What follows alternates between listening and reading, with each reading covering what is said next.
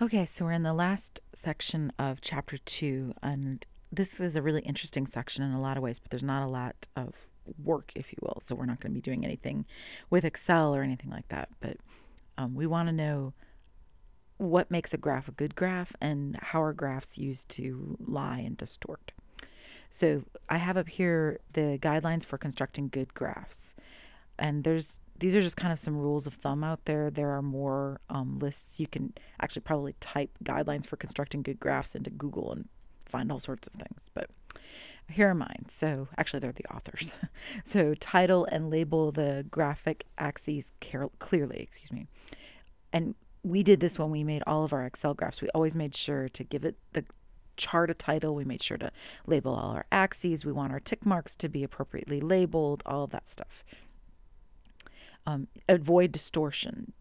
That happens a lot when you, um, for example, have graphs that don't quite match up with the numbers you're saying. So, like if one bar is 20 and the other bar is 10, but you don't actually have the 21 be twice as tall. Also, sometimes if you do three dimensional stuff, um, three dimensional pictures, it can distort which bar is biggest, which bar is smallest. Never use three dimensions, which is right down here. Avoid three dimensions. Three dimensions may look nice, but they're distracting. They tend to distort because when you look at something, a three dimensional object, it's not the same as when you're looking at it in two dimensions. And of course, paper and graphs are drawn on two dimensions, not three. I mean, paper is a two dimensional surface. So once you try, start trying to draw three dimensional charts, you're inherently modifying and distorting what's going on. You want to, I'm going to go back up here, minimize the amount of white space in the graph. Use the available space to let the data stand out. Um, if you truncate the scales, clearly, clearly indicate this to the reader. Truncating the scales um, is kind of a controversial thing.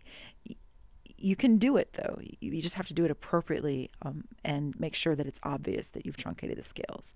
Sometimes it's for a good reason that the scales are truncated, but a lot of the times um, they're truncated, i.e., cut off um, for no good reason other than just to make um, somebody or to make it easier for somebody to make kind of a distorted point.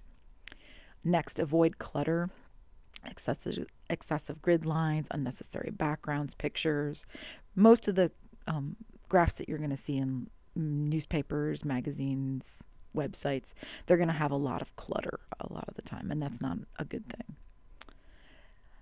Next is the do not use more than one design in the same graph, right? Well, don't make one a bar and one a circle and one a square or something like that, right? Keep them all consistent.